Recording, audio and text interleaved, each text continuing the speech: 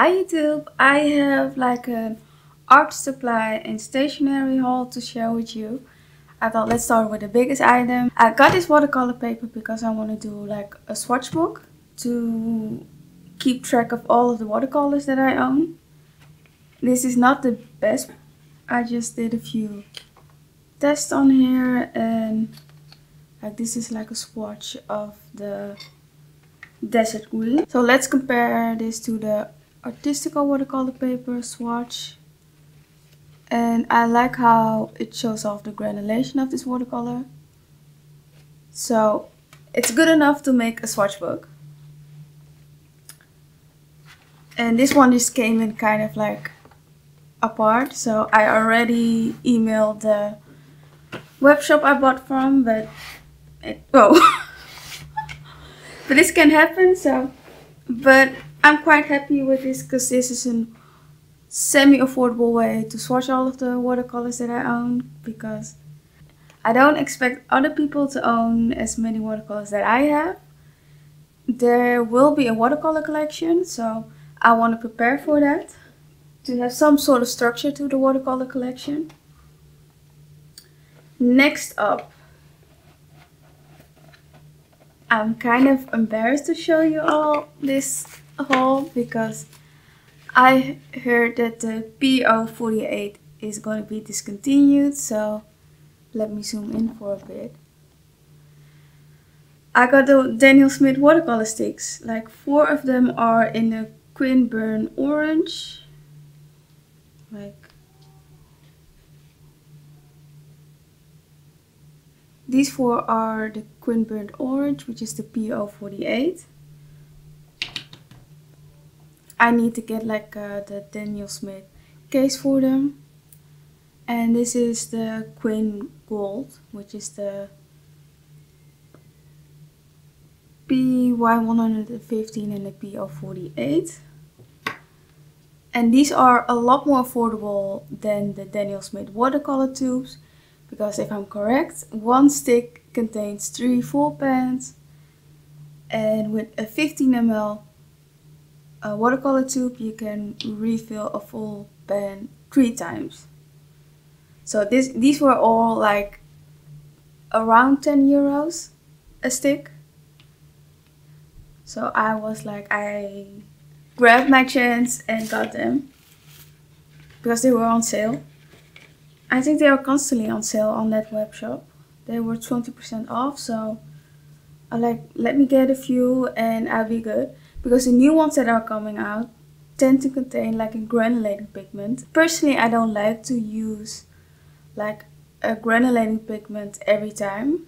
So for some paints, I need to have like a non-granulated watercolor. Like I don't understand why they keep stop making one of my favorite watercolor paints. I know it's linked to the industry, like I think the car industry and stuff like that.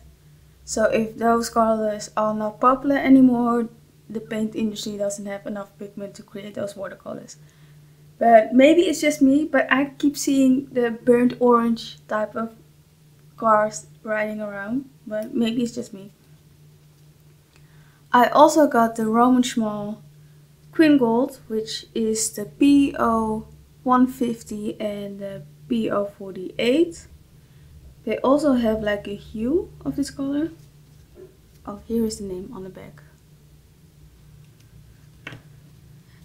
And uh, the Quinacridone Burnt Sienna, which is just a single pigment PO48. Which I thought it would be fun to add to my palette of Roman Szmal. I have like a few like favorite watercolor pigments and that includes the PO48 uh, the PY 129 which is like the green gold and the Quin Coral which I like to use. I like to use those pigments for skin tone so I'm gonna cry if the PY 129 and the PR 206 get discontinued so that's there and I also I just wanted to show you I didn't buy this recently I in fact bought this watercolor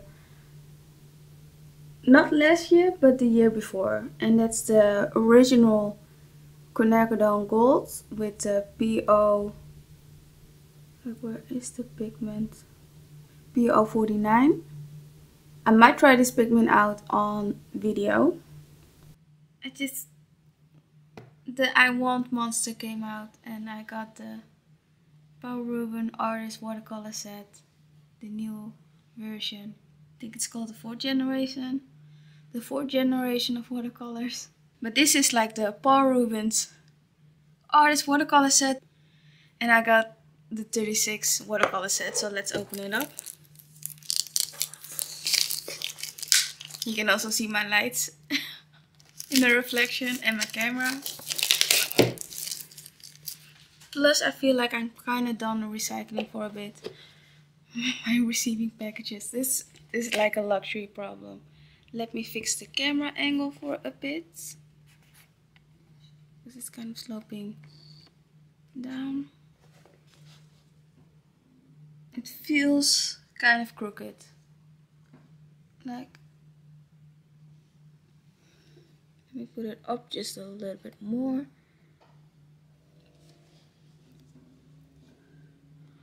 Oh no, I've been filming this with my microphone off. I can't believe this. I'm gonna... Oh my gosh, I was filming this all this time without my microphone on. I will see what I can do about the sound. But let's unbox this set. I'm quite excited in trying Paul Ruben watercolors out because I haven't tried them. Oh, they also come in like 5, 15 and 16 ml tubes. I don't know what it is, but ice just freaks me out. I just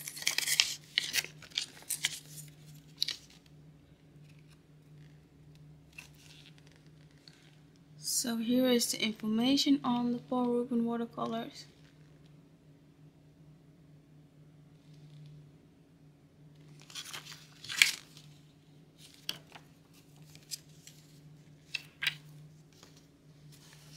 So there will be a review on this set. I like the way... Oh, by the way, I only have like the opera colors from Paul Ruben. I don't have like regular watercolors from Paul Ruben. So I'm interested in the quinacridone violets. Because it's a... Oh no, this is a PV19 it's a different one. Let me... Is this one? Yes, it's the Quinacridone Maroon. Which is a PV42. Which looks a little bit different. I think it looks different from the PV42 of... Let me think. Schmincke. But I love like turquoisey colors I will find a way to use these colors. And of course, my favorite blue, cool blue, which is the PV16.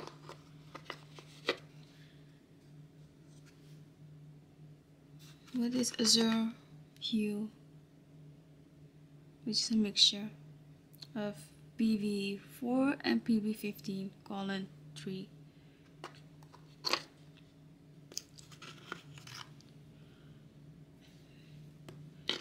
So I'm quite excited to try these colors out. And maybe I will try... No, I probably will rearrange. Oh, no. This one already exploded. Ugh. Which kind of sucks.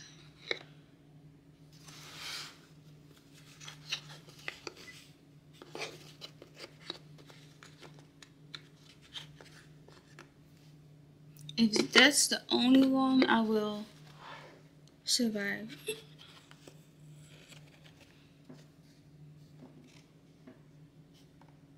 I think that's the only tube that got exploded in transit.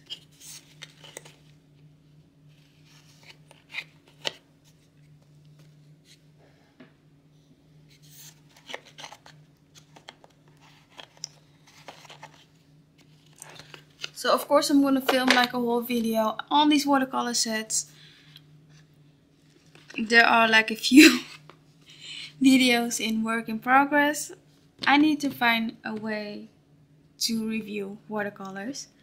I hope the fact that the sound wasn't on in the previous part doesn't hurt. Next up I made a Muji order which they packed really carefully gonna make a lot of noise. I got this porcelain tray from Muji and also got like the longer version which I want to use. I want to use these palettes mainly for gouache. The tiny one would be great for like a limited color study which I really want to get into. And I've been doing that lately on like the small plastic ones but that keeps getting stained so I thought this would be like a great way of using these gouache colors especially this one. I think this would I think these palettes would be like great for like smaller surface like you can keep this one next to your sketchbook but this one as well so you can keep painting.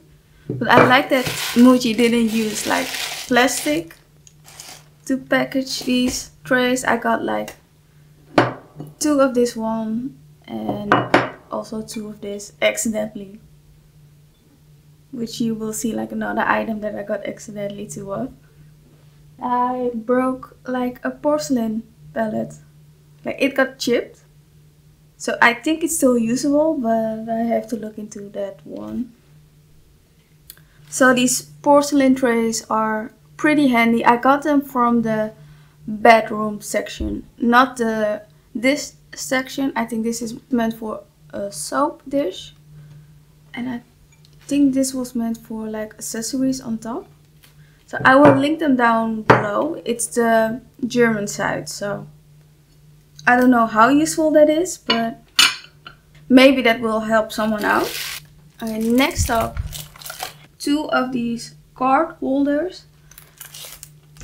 They have they are disturbing my lights they have like 100 pockets. On the website it said that it had 200 pockets. I think they meant 100 pockets and you can put 200 cards in it but i hope it's enough. But i want to i will remove the plastic. So this is how it looks and i want to put the swatch cards in here Me see.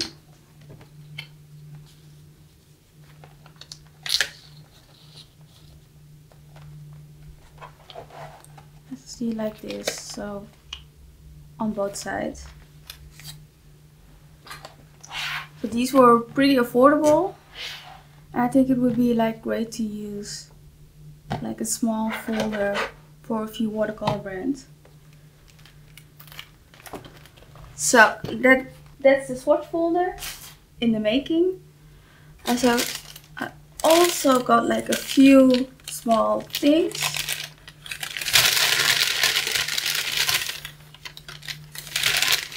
Like I got like two of these small sharpeners. I got like these two small sharpeners these were out of stock for quite a while, so that one and a black gel pen body, which I want to put this gel pen inside of this body. Um, I also got like a few notebooks, which I thought it would be quite handy for this size for editing because I have like a very inefficient way of editing. Because my computer tends to be like really slow so the editing software that I like to use doesn't run that smoothly because after a while I will hear the sound first and then get the image. So it's it's harder to edit so I just make a rough cut of the video and then like might be able to show you. And like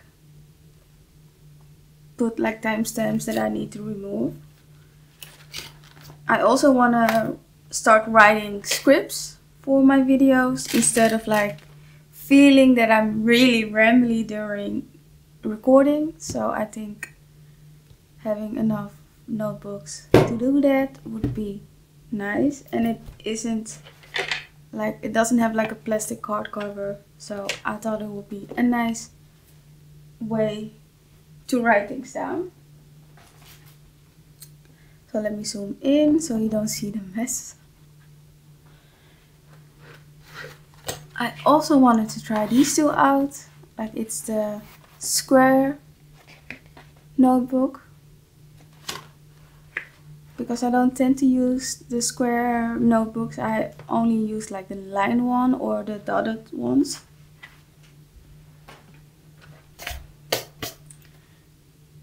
And also on the later side I got a planner for 2023 these were on sale for like around 2 euros. So that was nice. I don't have like a weekly planner so I saw it and I just grabbed it.